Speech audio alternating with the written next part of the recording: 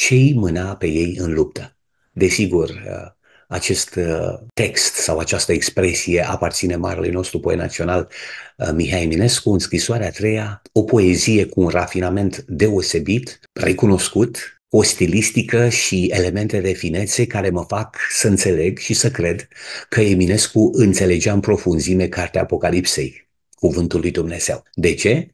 Pentru că în această poezie ni se prezintă de fapt cele două mari forțe care se luptă între ele, iar în mijloc, ca un tampon, este personajul principal, un om în vârstă, Mircea cel bătrân, prezentat în modul cât se poate de chifernisit, ca un uh, martoheu în poartă. Mircea cel bătrân este omul care are două opțiuni, care ambele sunt greșite. Deci, liberalismul de stânga, ateismul care este simbolizat de islam, și pe de cealaltă parte mișcările de dreapta, nu? sau conservatorismul care împinge pe lume sau oamenii de a accepta o religie datorită forței și fricii și nu datorită convingerilor personale, Mircea cel bătrân este ca un fel de Iacob între Laban și Esau. Laban îi dorește moartea, vine din urmă, nu? Esau vine din față, crezând că Iacob vine acasă să ia averea. Solomon spunea foarte clar că ce a fost va mai fi, nu e nimic nou sub soare. Aceste două declarații împreună ne conving de faptul că fiecare generație de oameni pe pământul acesta n-a făcut altceva decât să repete greșelile generațiilor precedente și de aceea avem nevoie de pocăință, regret, întoarcere la Dumnezeu, noi, fiecare generație de oameni care trăim. Avem nevoie de o resuscitare a valorilor noastre spirituale, avem nevoie de o apropiere de Dumnezeu, avem nevoie de o căutare personală în relația noastră cu Domnul Hristos și, finalmente, avem nevoie de o schimbare de caracter, așa cum este cerută în Scriptură. Ne uităm astăzi la toate instituțiile care se unesc în jurul unui deziderat sau unui ideal. Vorbeam săptămâna trecută de negustorii pământului, fie că vorbim de Davos, fie că vorbim de o organizație uh, mondială a sănătății, fie că vorbim de BlackRock, fie că vorbim de atâtea entități financiare, atâtea entități comerciale, atâtea instituții care joacă un rol major în uh, conducerea lumii, toate se unesc în jurul unui standard, și anume standardul Romei. Întrebarea este, par ei uniți? Sunt ei cu adevărat uniți? Sau este doar o chestiune de fond, este o vendeta, nu? E o șaradă care de ochii lumii prezintă în fața noastră o grupă de instituții care doresc unitatea la nivel mondial.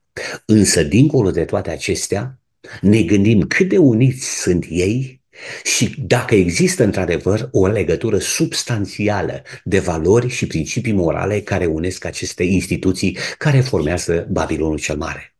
Ce îi mânau pe ei în luptă? Această întrebare ne duce cu gândul la un răspuns și anume un răspuns dat la o întrebare.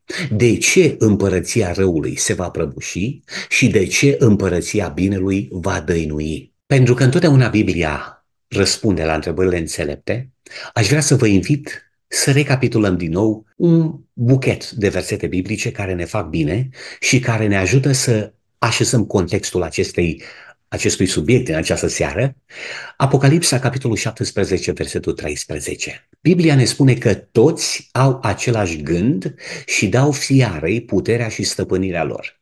Iată, aici este o unitate de idei care reflectă toate mișcările politico-sociale, militare, chiar religioase din lumea de astăzi. Toți au același gând, toți doresc să ofere puterea absolută Romei ca pe vremea Domnului Hristos, o societate similară, care era polarizată în jurul marelui factor Imperiul Roman, nu? În Luca, capitolul 22, versetul 70, ni se profilează la orizont aceeași expresie de unitate. Toți au același gând să dea fiarei puterea și stăpânirea lor, în Apocalips 17 cu 13, iar în Luca 22 cu 70 avem de fapt un, o, o, o repetiție a acestei idei, toți au zis, ești tu dar Fiul lui Dumnezeu? Și el a răspuns, așa cum o spuneți, da, sunt.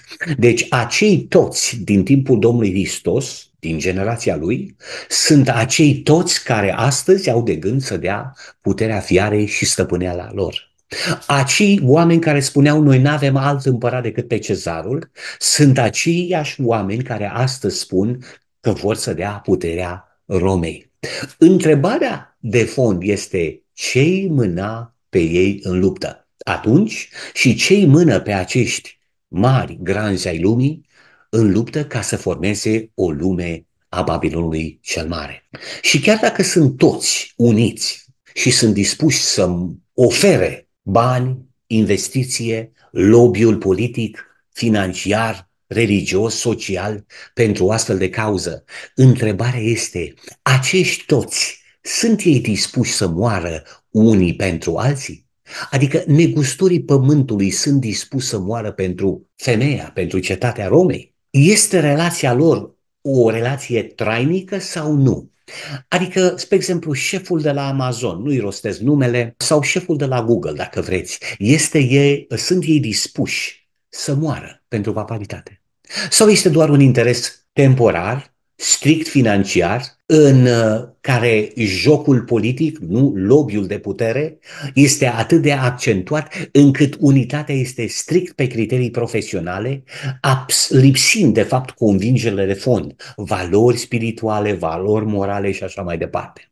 Cuvântul lui Dumnezeu ne spune că atunci când Dumnezeu va pedepsi pe femeia îmbrăcată în stacojiu, negustorii pământului, traficanții mai de de toate, se pare că stau deoparte de frică. Haideți să citim ceva interesant din Scriptură ei vor sta departe de frică să nu cadă în chinul ei și vor zice, vai, vai, Babilonul, cetatea cea mare, cetatea cea tare, într-o clipă ți-a venit judecata. Este Apocalipsa, capitolul 18, versetul 10, dacă nu mă înșel. În versetul acesta, ni se spune că negustorii pământului o plâng pe femeie, dar întrebarea este de ce o plâng? Că nu mai pot ei de dorul femeii, de dorul Romei, sau o plâng din interes personal? Că bocitoarele, nu, dacă ați mers până Maramureș sau anumite zone ale României, există bocitoare plătite, care plâng, sunt plătite ca să bocească la mormântare. Întrebarea mea este, negustorii pământului o plâng și o, zel, o jelesc pentru că nimeni nu le mai cumpără marfa sau o plâng pe vezi, măre Doamne, o plâng pentru că uh, au iubit cu adevărat Roma? Aici avem între răspunsul foarte clar. Deci ei se plâng pe ei înșiși în realitate. Deci întrebarea rămâne, ce-i mâna pe ei în luptă. Acum se vede clar că globalismul babilonic sau babilonian nu? Se prăbușește pentru că nu dragostea lui Dumnezeu sau nu o dragoste reală a stra la baza prieteniei între negustorii pământului care au fost în pat cu femeia aceasta desfrânată care este cetatea Romei. Ba mai mult, Biblia ne confirmă, prieteni, că relația aceasta de unitate este superficială, este aparentă, dar în realitate există intrigă, ură, bârfă între toți acești magnați ai lumii. Așa că nu vă temeți de ei. În aparență sunt uniți, dar sunt mai, divid, mai divizați decât vă puteți dumneavoastră închipui. Cele zece coarne, ne spune Apocalipsa, capitolul 17, versetul 16, cele zece coarne pe care le-ai văzut și fiara o vor urâ pe curvă, o vor pustii și o vor lăsa goală. Carnea i-o vor mânca și o vor arde în foc. Păi, dragii mei prieteni, trei versete înainte, coarnele acestea, zece coarne, dădeau puterea fiarei și acum numai după trei versete, aceste coarne care au dat puterea Romei o vor urâ pe femeie, o vor pustii, o vor lăsa goală, apoi o vor duce, uh, o vor aduce ca jertfă păgână, nu? În ritual păgân, o jertfă prin care vor lua trupul gol al femeii cu care au trăit ei și negustorii pământului și o vor arde în foc, iar carnea i-o vor mânca. Deci canibalism de genul Ezechiel 23 cu versetul 37, unde ni se spune că ele s-au dedat la preacurvie și pe mâinile lor era sânge, au preacurvit cu idolilor și pe copiii pe care mi născuseră i-au trecut prin foc în cinstea lor ca să-i mănânce. Deci este interesant acest protocol, această ceremonie păgână a arderii trupului gol al femeii cu care s-au culcat mai toți conducătorii pământului și mai toți negustorii pământului, dar protocolul acesta spune că urmează anumiți pași rituali, care îi vedem în Ezechiel, capitolul 23, versetul 37. Cele 10 coarne și, uh, pe care le-ai văzut și fiara o vor urâ pe curvă, o vor pusti, deci prima dată vine ura. Acum, întrebarea este, ăștia care formează Babilonul cel Mare astăzi, iubesc ei pe desfrânata care conduce lumea? Nu. Zice că o vor urâ după care ura va duce la pustire, și spune, o vor pusti, și după care îi va lua tot aurul și argintul și o vor lăsa goală, goluță, spune pana uh, inspirată din Apocalipsa, capitolul 17, versetul 16. Deci sunt ferm convins că expresiile din cartea Apocalipsului, uh, din part, cartea Apocalipsei au o figură de stil, evident că sunt metafore, nu o să mănânce nimeni pe nimeni, dar ce este interesant, dragii mei prieteni, este că este foarte asemănătoare sau este foarte asemănător sfârșitul femeii curve care șade pe fiară în Apocalipsa, cu sfârșitul acestor femei care își mâncau copiii trecându-i pe foc. Deci ce îi mâna pe ei în luptă? Deci ce unește pe acești negustori ai pământului cu Roma? Nu e dragostea, ci este doar interesul personal. Pentru că acest uriaș motor global nu este așa de unit cum credem sau cum apare la prima vedere. Acest angrenaj de unificare al planetei sub un singur sceptru va dura doar foarte puțin, câteva clipe, pentru ca relațiile aceștia să supraviețuiască până ce planul lui Dumnezeu se va împlini. Pentru că relațiile acestea între marile entități nu sunt de natură divină, ci de natură omenească. Tot ce este omenesc, prieteni, moare. Tot ce este omenesc este temporar. Doar lucrurile lui Dumnezeu durează veșnic. În Daniel, capitolul 2, versetul 42, ni se, 43, ni se confirmă următoarele. Dacă ai văzut fierul amestecat cu lutul, înseamnă că se vor amesteca prin legătură omenești de căsătorie, dar nu vor fi lipsiți unul de altul, după cum fierul nu se poate uni cu lutul. Deci iată confirmarea lui Dumnezeu. Spre exemplu, Bill Gates nu este gata să se sac- să-și sacrifice viața pentru papă. Nici papa nu este gata să-și sacrifice viața pentru președintele Franței. Trudeau al Canadei nu este gata să-și sacrifice viața pentru conducătorul Mexicului, cum nici conducătorul Argentinei nu este gata să-și sacrifice viața pentru conducătorul, uh, pentru conducătorul Braziliei, dacă vreți. Exemplele pot continua. Relația între lideri și necustorii pământului și fiară nu este una de un profund caracter dumnezeiesc, ci este circumstanțială, de moment, o relație în care, în mod egoist, fiecare își urmărește sau își caută interesul personal.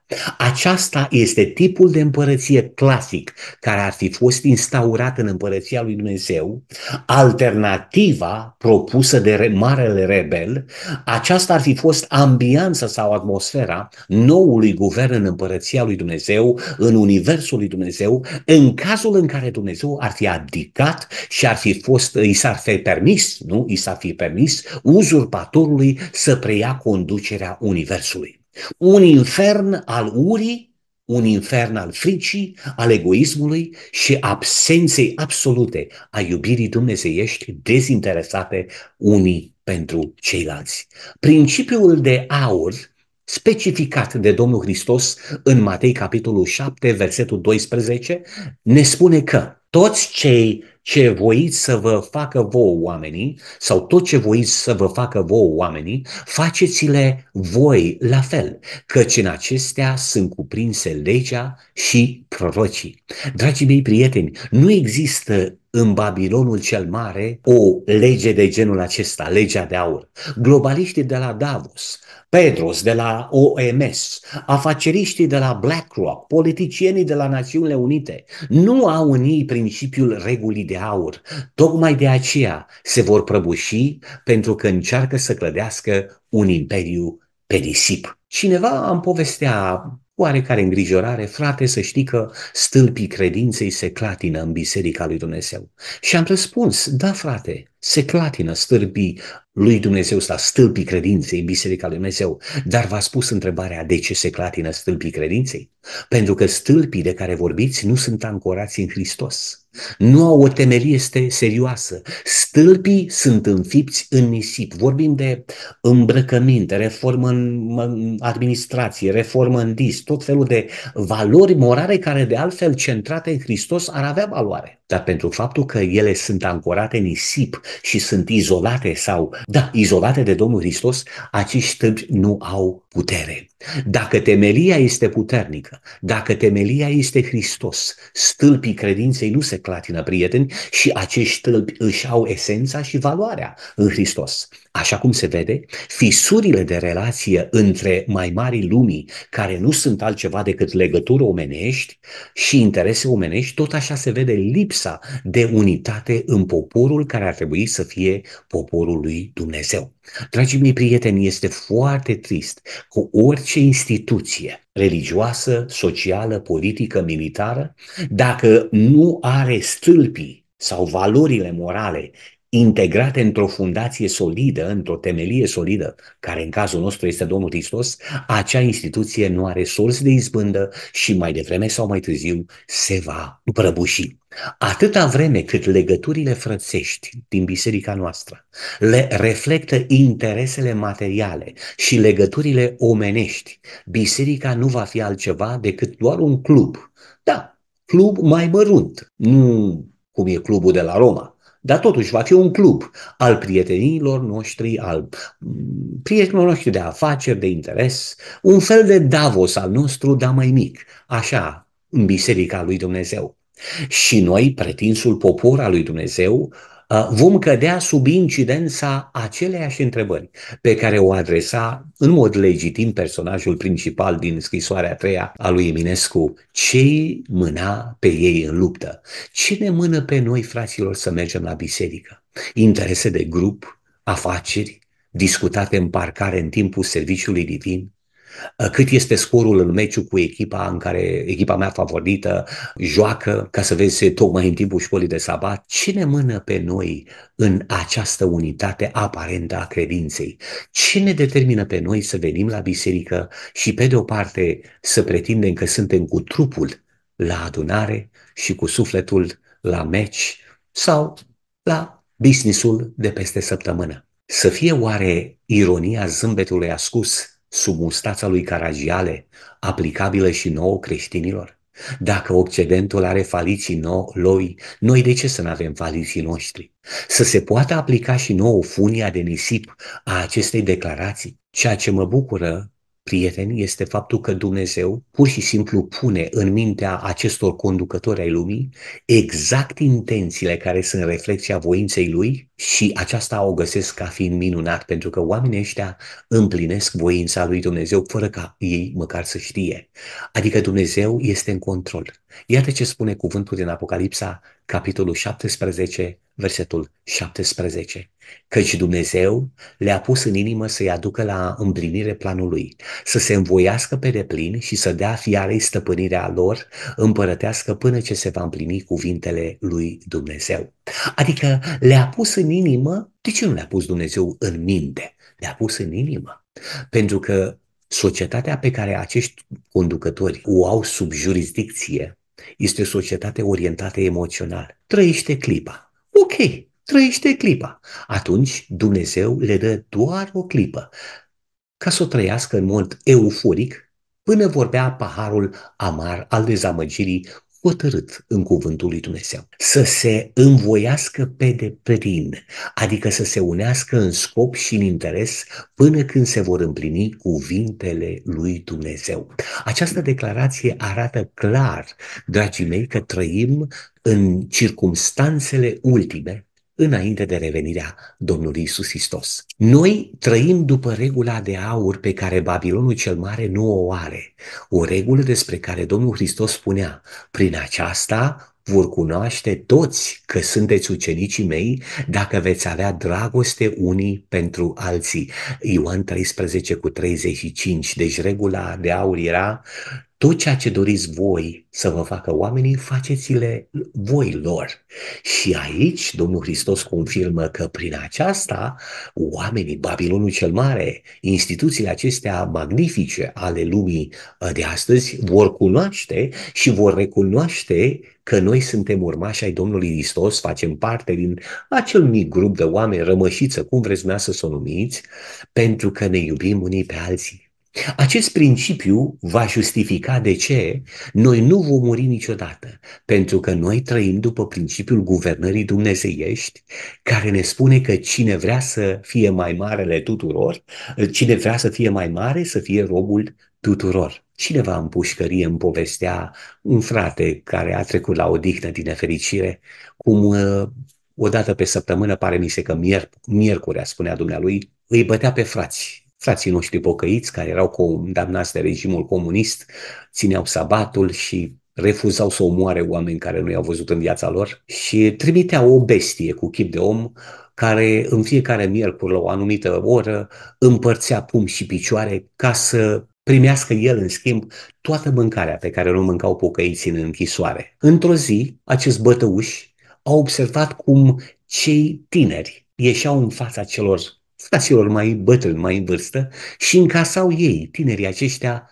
toți pumnii și picioarele care le împărțea bestia cu mare nonșalanță, ca să protejeze pe frații noștri mai în vârstă care erau condamnați a doua oară sau poate a treia oară în închisoare. După o vreme, bestia a observat că tinerii sunt gata să moară pentru cei în vârstă. I-a atins inima și s-a dus la capitan și i-a mărturisit capitanului. Eu nu mai pot să dau în oamenii aceștia, spunea bestia. Eu nu mai pot să bat pe oamenii aceștia. Nu mai îmi trebuie mâncarea lor. Acești oameni sunt din altă lume. Am observat cum se iubesc unii pe alții, cum se respectă unii pe alții, cum sunt gata mo- să moară unii uh, pentru ceilalți. Nu, nu mai pot să-i bat. Dragii mei prieteni, această experiență care a, a topit inima unui monstru în pușcărie se poate să fie experiența unora dintre cei care conduc astăzi lumea și care aparent par irecuperabil, că vin înapoi la Domnul și sunt convertiți nu de teologia sau abordarea noastră sistematică a Cuvântului Dumnezeu, ci vor fi atrași la Dumnezeu de această regulă de aur pe care ei o văd că noi o trăim. Ne iubim unii pe alții, așa cum ne-a iubit Domnul Hristos? Nu există un privilegiu mai mare ca aceasta decât ca cineva să-și da viața pentru aproapele său. Concluzionez, dragii mei, cu declarația încă o dată amintită din Ioan 15 cu 13. Nu este o dragoste mai mare decât ca cineva să-și dea viața pentru prietenii săi. Oare se mai poate spune același lucru despre generația noastră de creștini? În pușcăria comunistă tinerii mâncau bătaie ca să salveze viața fraților bătrâni, ca după aceea bătrânii să le lege rănile și să-i panseze.